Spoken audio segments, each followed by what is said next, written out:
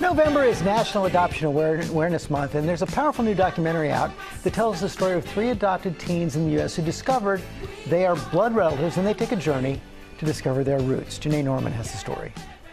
Everyone keeps telling me it's my home place. I don't remember it all. 16 years later, here we are. It's a journey many adopted children choose to go through. Looking for one's lost history is important. Learning about where and who they come from. Someone found me and took me to the orphanage.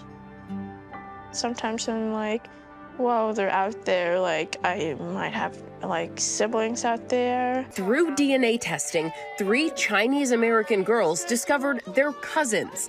Their trip back to the country where they were born, China, chronicled in the Netflix documentary Found by filmmaker Amanda Lipitz, the aunt of one of the girls. When my niece discovered that she had a blood cousin living in Nashville, it was the first time that she really wanted to make that connection. Together, Chloe, Lily, and Sadie visit the orphanages and, in some cases, the women who cared for them when they were infants. She was my caregiver for the first year and a half of my life. I think something really powerful about watching this film and the way that these girls did this to go together to have each other and you see how essential it is in that experience that these girls have each other to lean on. At the time Chloe, Lily, and Sadie were born, China's one child policy was being enforced. The law, aimed at curbing the country's growth, left tens of thousands of children needing loving homes.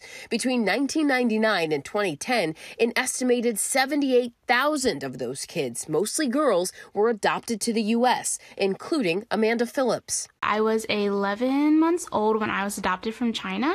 Um, I grew up in Virginia.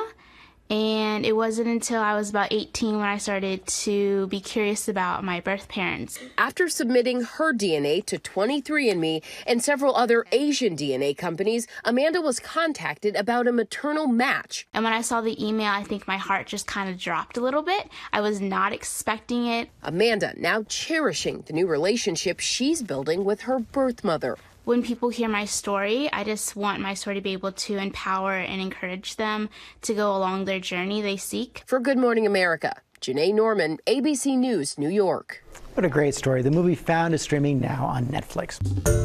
Hey there, GMA fans. Robin Roberts here. Thanks for checking out our YouTube channel. Lots of great stuff here. So go on, click the subscribe button right over right over here to get more of awesome videos and content from GMA every day, anytime. We thank you for watching, and we'll see you in the morning on GMA.